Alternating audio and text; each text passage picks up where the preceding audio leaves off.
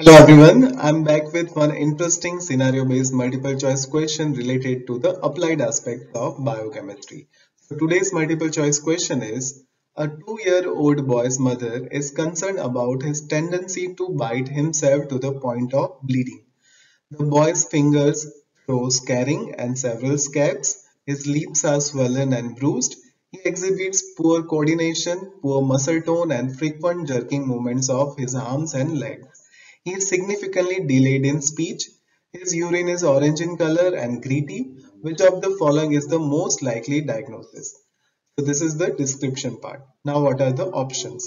So the options are A. Adenosine deaminase deficiency, B. Cerebral palsy, C. Gout, D. Lesch-Nyhan syndrome and E. Tay-Sachs disease. Now this child is having neurological symptoms as well as developmental delay along with one characteristic finding that is self-mutilation behavior. This self-mutilation behavior is evident from his tendency to bite himself to the point of bleeding as well as his fingers so scarring and several scabs as well as lips are swollen and bruised. And this self-mutilation behavior is not seen in adenosine deaminase deficiency, cerebral palsy as well as Tay-Sachs disease. So these three options are excluded. Now option C that is gout, it doesn't show any neurological symptoms. So this option C is also excluded. So now we are left with one option that is Lesch-Nyhan syndrome. So the correct answer as well as correct diagnosis is Lesch-Nyhan syndrome.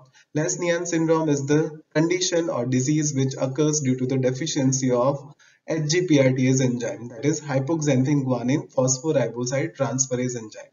Because of deficiency of this enzyme, there is a prevention of salvage of hypoxanthine and guanine to their respective nucleotides like inosine monophosphate and guanosine monophosphate, which results in increased purine synthesis as well as increased purine breakdown and overproduction of uric acid.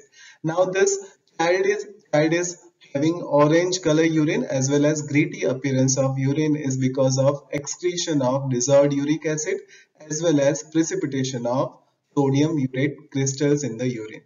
So that is all about today's video. You have to remember that whenever the child is having self-mutilation behavior, developmental delay, neurological symptoms and increased uric acid production, so the answer will be the Lesch-Nyhan syndrome. Thank you for watching. Thank you. Please like, share and subscribe Biochemistry Basics by Dr. Amit and don't forget to press the bell icon so you can get all the notifications from it. Thank you.